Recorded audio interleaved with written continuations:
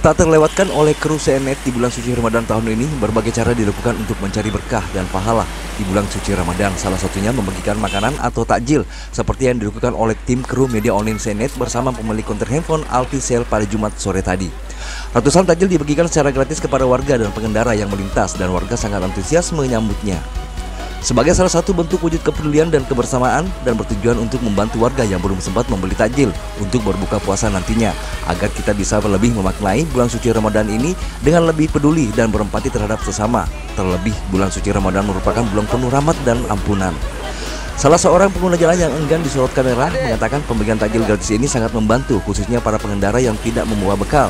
Jadi bisa segera membedakan puasanya begitu ajan maghrib berkumandang.